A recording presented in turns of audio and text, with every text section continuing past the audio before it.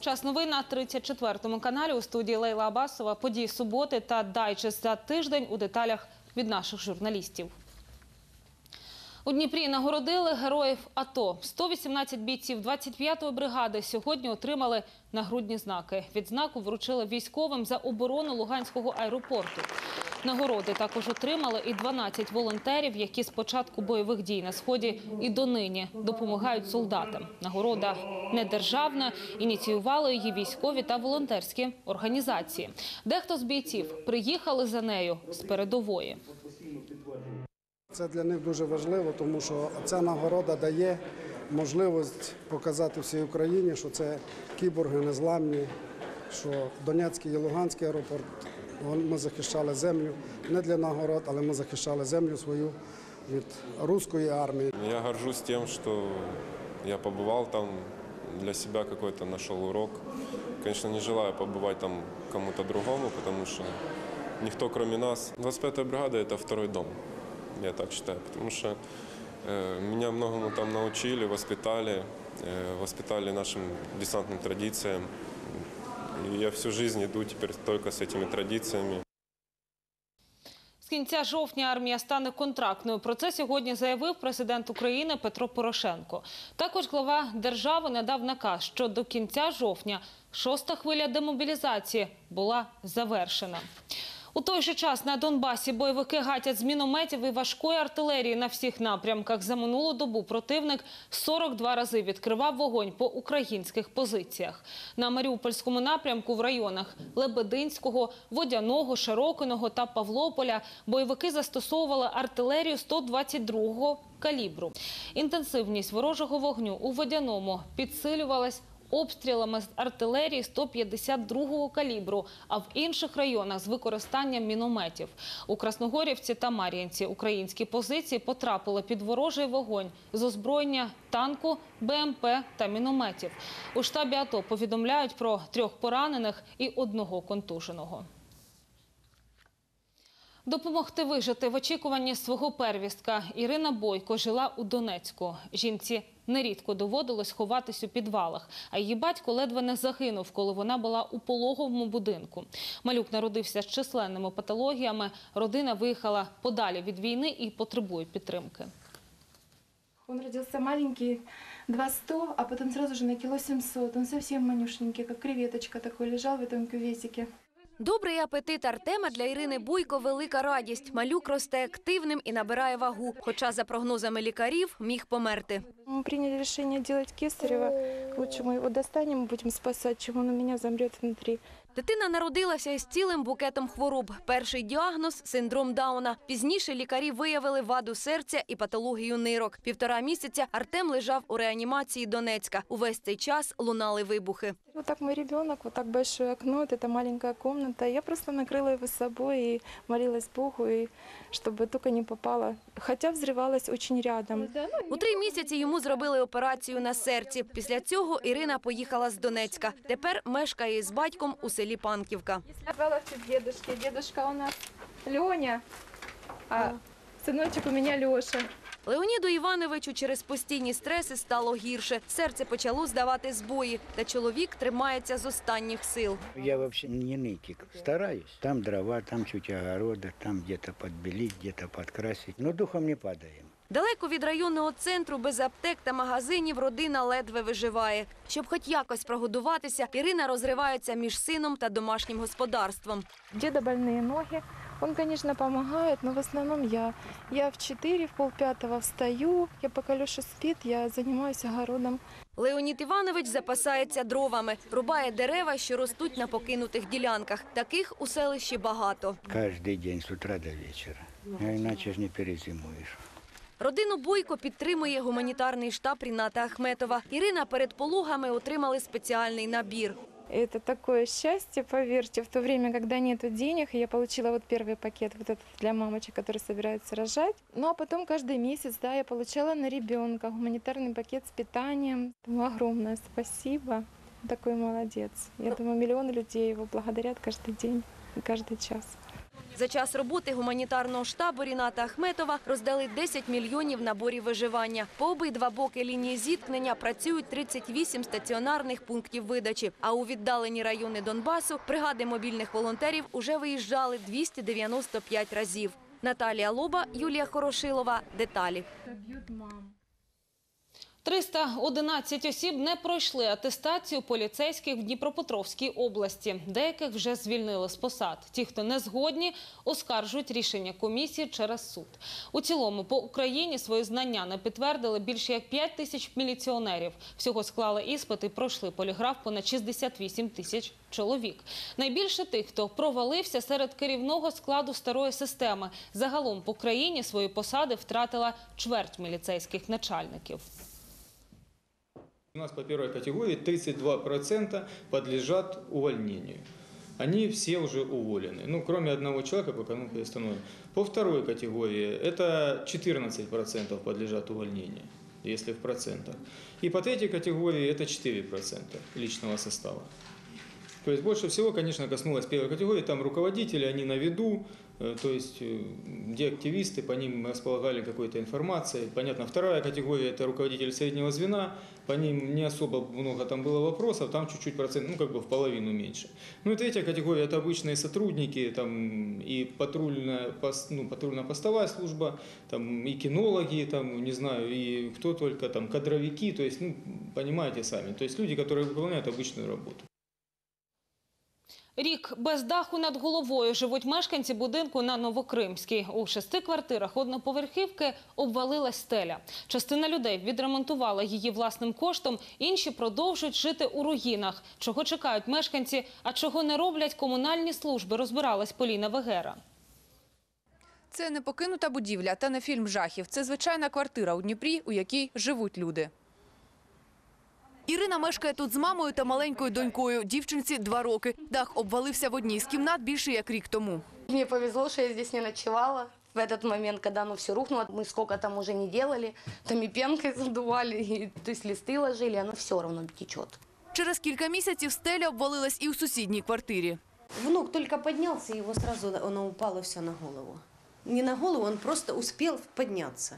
Вот. такі кучі выносили. Така ж ситуація майже у всіх квартирах старого будинку. Частина мешканців відремонтувала дах власним коштом. Ті, кому грошей не вистачає, продовжують жити у руїнах. У мене он тече, що я можу? Просю людей, щоб пішли воду, вилили все.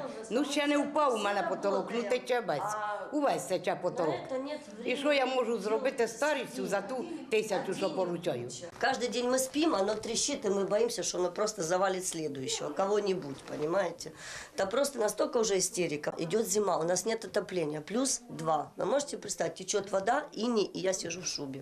У житлосервісі кажуть, про проблему знають, та жителі звернулись до них лише місяць тому. Они обратились 22 сентября. Пришли, принесли заявление на течь кровли. До этого заявлений не было. Значит, приняли мы их, приняли и включили сразу же в предварительный список на следующий год, на текущий ремонт, чтобы полностью сделать э, текущим ремонтом, отремонтировать эту кровлю. Вот до этого заявлений не было. Мешканці, в свою чергу, запевняють, звертались до житлосервісу і раніше, та заяв чи документів, що підтверджували б це, показати не змогли. А тим часом деталі нагадують городянам. Подавати заявку на ремонт будинку можна в 421 кабінеті міської ради. Приймають їх до 1 листопада. Поліна Вегера, Олександр Довгань, Богдан Пападін. Деталі. У Дніпрі ціни на орендоване житло зросли. Цієї осені зняти дах над головою коштує на 10% дорожче, ніж це було ще влітку, кажуть ріелтори. Крім плати за комірне, орендарі зі страхом думають про комунальні платежі взимку. Як економлять ті, хто живе у чужих квартирах, з'ясовувала Анастасія Клімович. Артем сам із Нікополя переїхав в Дніпро на навчання, отримав диплом та залишився в місті. Хлопець вже близько чотирьох років орендує житло. За цей час змінив кілька квартир. Поки шукав ту, що йому підходить, бачив різні варіанти. Очень многие, правда, завышают очень сильно цену, там, где это очень сильно не соответствует состоянию, расположению. Э, то есть полностью соответствующее попалось вот только где-то раз на шестой, восьмой.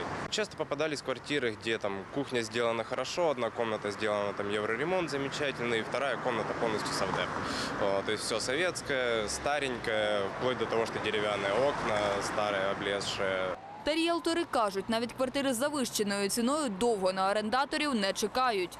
На сегодняшний день цены завышены, но берут, арендуют, так как нет других адекватных вариантов. В основном сейчас выбирают однокомнатные. Если семья больше трех человек, то берут двухкомнатные. Трехкомнатные очень редко, а, потому что коммунальные платежи.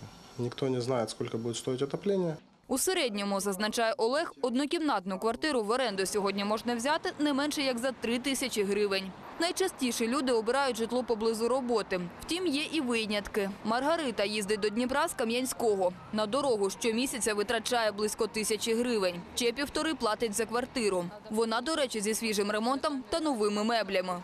Вместе с квартплатой, я считала, то выходит все равно выгоднее, чем снимать квартиру в Днепре, потому что до четырех не дотягивает, где-то около трех с половиной тысяч.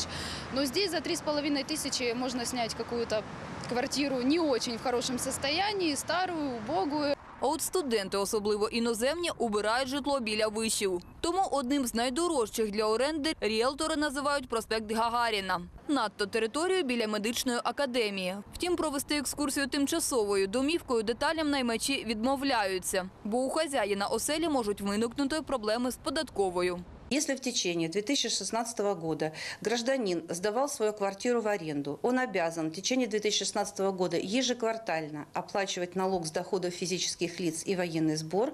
При этом по окончании он должен э, об- обратиться в свою налоговую инспекцию, подать декларацию. Податок на дохід від здавання житла в оренду становить 18%. Ще півтора процента – військовий збір. Несвоєчасна подача декларації загрожує власникам осель штрафом. Анастасія Клімович, Іван Біленко. Деталі.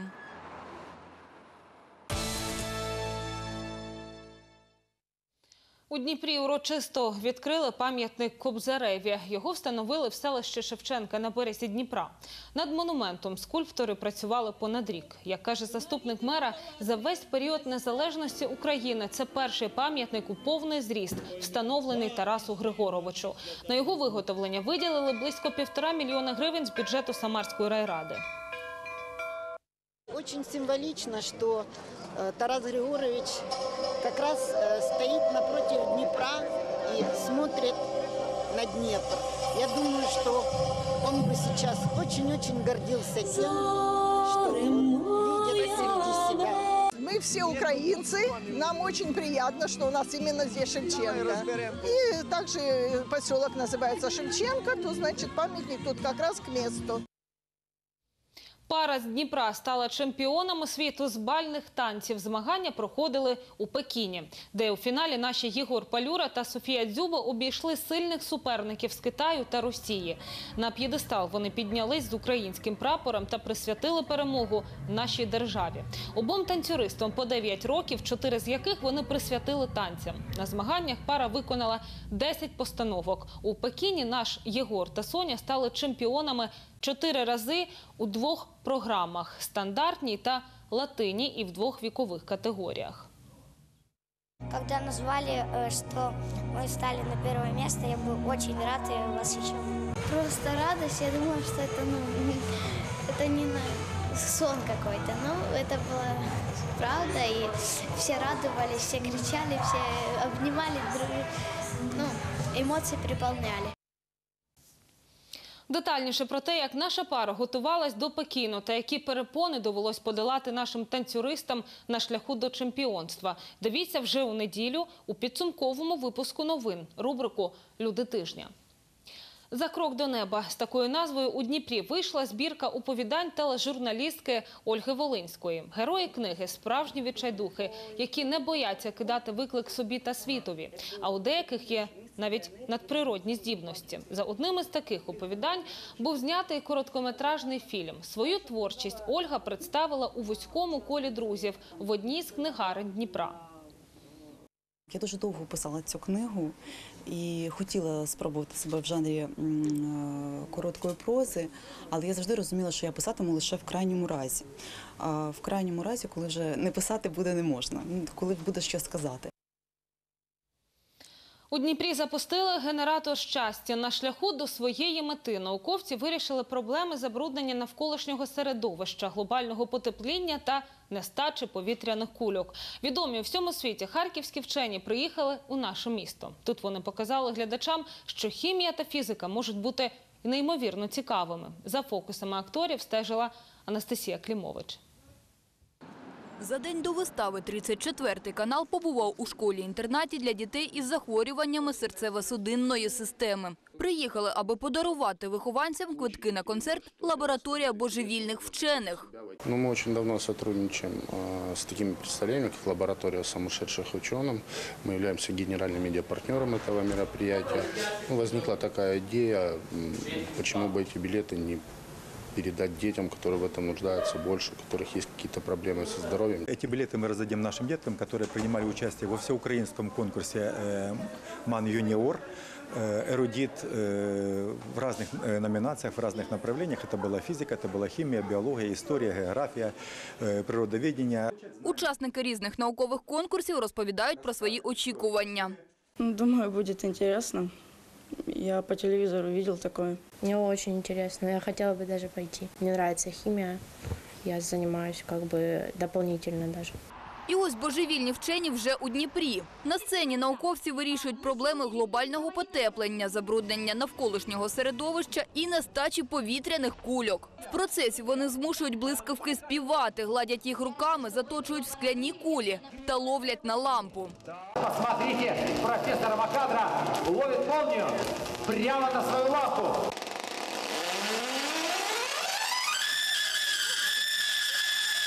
Після вчені заморожують рідким азотом троянди та розбивають їх.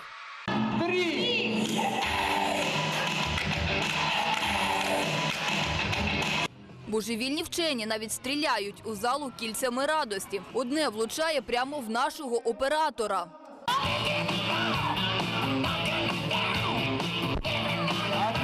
Врешті всі завдання виконані. Генератор щастя запущений.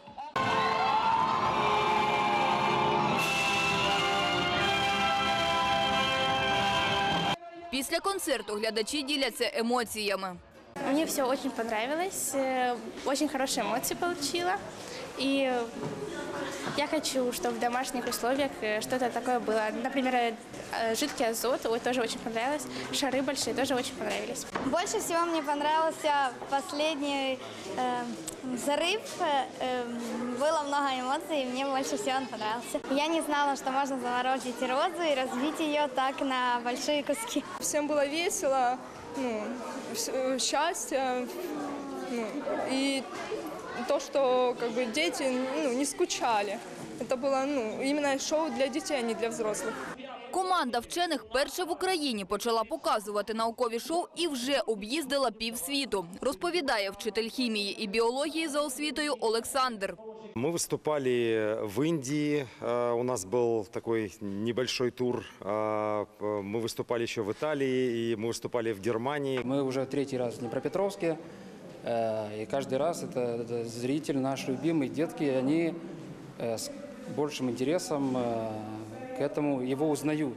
Організатор каже, далі вчені дивуватимуть дітей на сході країни – в Северодонецьку, Лисичанську та Краматорську. Півсотні білетів, як і в Дніпрі, планують віддати малим глядачам у кожному місті безкоштовно. Анастасія Клімович, Андрій Гречников, Віталій Правдюк. Деталі. І на цьому випуск завершено. Інформаційний підсумок тижня підведуть у неділю мої колеги. Дивіться деталі підсумки завтра о 18.30. І я ж з вами прощаюсь. Приємного вам вечора суботи. На все добре.